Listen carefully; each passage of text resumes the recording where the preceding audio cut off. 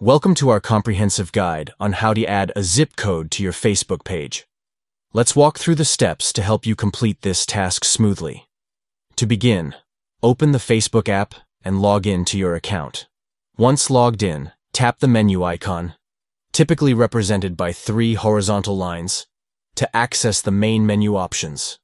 Scroll down within the menu and tap on Pages to view the list of pages associated with your account. Next, Switch to the specific page you wish to edit by tapping the down arrow next to your profile photo at the top of the screen and selecting the page you want to switch to. Once on your page, tap your page's profile picture to access the page settings.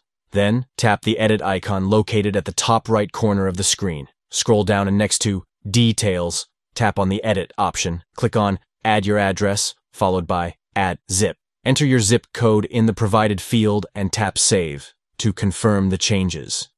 By following these simple steps, you can easily add a zip code to your Facebook page, providing visitors with specific location details and enhancing your page's visibility. Thank you for watching. We hope this guide has been helpful in optimizing your page on Facebook. Make your page more informative and user-friendly by adding a zip code today. Welcome